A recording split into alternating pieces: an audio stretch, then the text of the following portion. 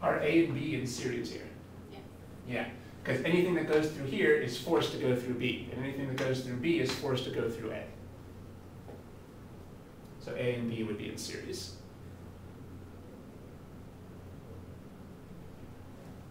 Are B and C in series? Are B and C in series? No. No, because something that leaves B doesn't have to go through C. It could go this way instead and bypass C. So B and C are not in series. I think some people might say they're in series because if you go through B, you could end up going through C as well. But they're not in series because if you go through B, you're not forced to go through C. So series doesn't just mean that you have the option of going through both of them, but that if you go through one, you're forced to go through the other. So these two are not in series. Uh, clearly C and D are not in series. If you go through C, you can just go this way and never go through D. How about C and E? Are C and E in series? No. No, because if you go through C, you don't have to go this way, you could go this way instead. That would actually force you to go against the current, but that's okay. The, the point is just that there's a path through C that doesn't go through E. Uh, I guess, uh, I guess this would be the simplest path. You just keep going around like this. Here's a loop that doesn't go through uh, E. So these, uh, so C and E are not in series. Maybe an easier way to put it is, um, if you go through E, you're certainly not forced to go through C.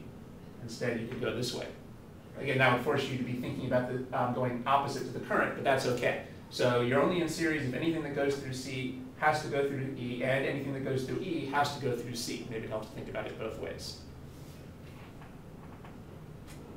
Are C and D in parallel? Yes.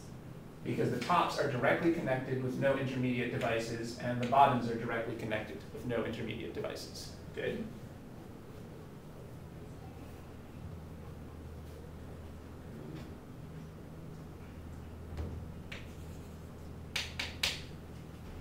How about now?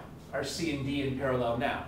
No, because now there is an intermediate device. So uh, this makes, should make it clear what I mean by intermediate devices. Now the tops are connected, but there is an intermediate device. So these would not be considered parallel. I think a lot of students get this wrong and think that they are parallel, because they kind of look parallel, um, but they're not parallel because there's an intermediate device on the path between the, the two devices.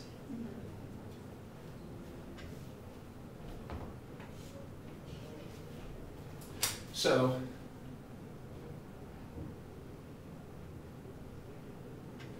what we just learned here is that when devices are in series, they have to have the same current.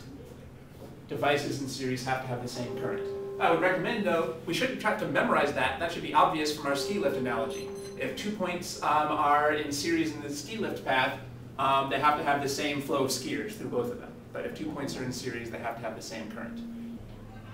And what we saw over here is that if two points are in parallel, they have to have the same voltage drop.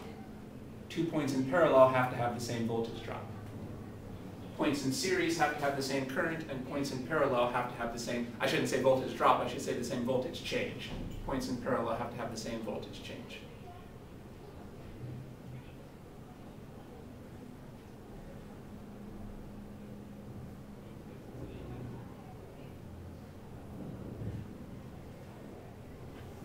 And we can see why that is. Let's say that you decided to go from here to here. Well, if you go from here to here down this path, you're losing 15 volts of height. Well, you've got to lose the same amount of height when you take any path between these two points, because they have the same starting and ending points. So again, we shouldn't have to memorize that things that are in parallel have the same voltage change. That should be obvious if we think of voltage change as the change in your height.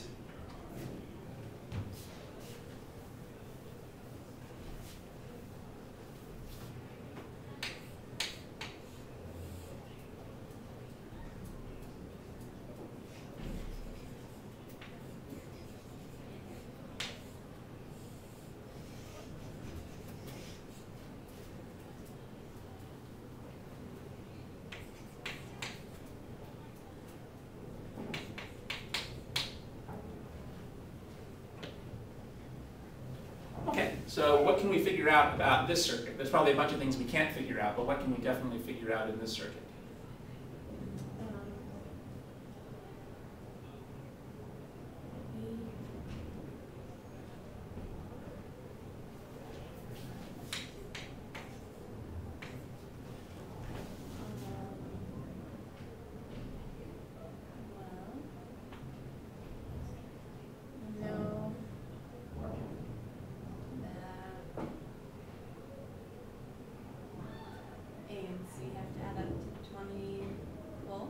Good, excellent, And B and C have to add twenty volts. excellent, good. Um, and Are there any precise numbers that we know? What you said was good so far. well.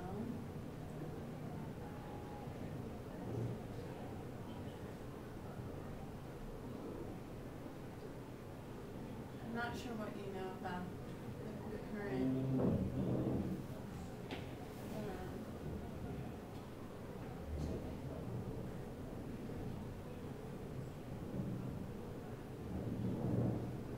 Yeah, I'm not sure. Let's see if we can figure out the current through resistor C.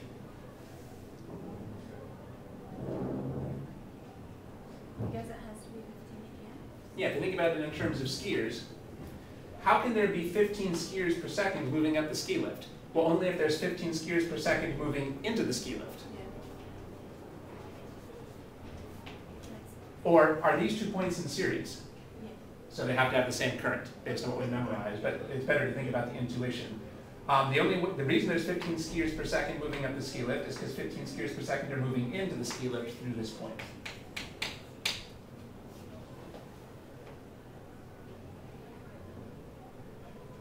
Does this have to be 15 amps?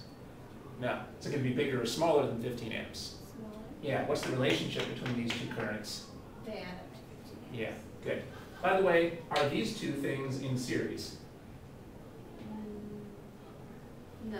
No, because if you go through here, you're not forced to go through A. If you go through B instead, that also shows us that this doesn't have to be 15 amps because they're not in series with each other. Okay. Good. Um, does this have to be 20 volts? Oh, no. In fact, is it bigger or smaller than 20 volts? be. Because this um, if you're gaining 20 units of height here, well, we can only be losing some of that height over here because we're losing the rest of the height over here.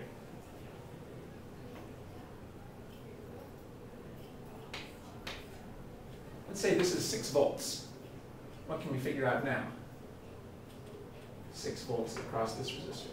Um, if that's six volts, then, um, then C has to be fourteen volts.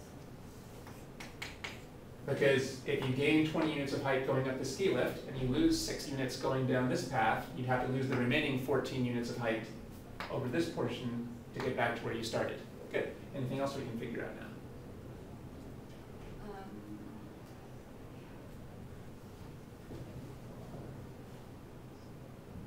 um, oh, then the other one would also have to be six volts, How do you know? because in a, s- in a series, it would go through B and C and have to have change. Right. So one way to see that is we know that this plus this has to add to 20. Good. There's another way that's maybe even more straightforward. Let's say you have a skier who's going from here to here. Well, we already know that if you go from here to here through this path, you're losing six units of height. Well, then you must lose six units of height going through this path because you're going you're going to the same between the same two starting and ending points. Or another way to put it is we've already um, memorized or learned that things that are in parallel have the same voltage change. Things in parallel have the same voltage change. Things in series have the same current. In series, you got the same current. In parallel, you have the same voltage change. So that also makes sense in terms of our skiers per second and height change in height analogies. Right, again, these are the types of questions you'll need to be able to do. You'll be given circuits where you're told some of the numbers, and you got to figure out all the other numbers. You got to know what you can and can't figure out.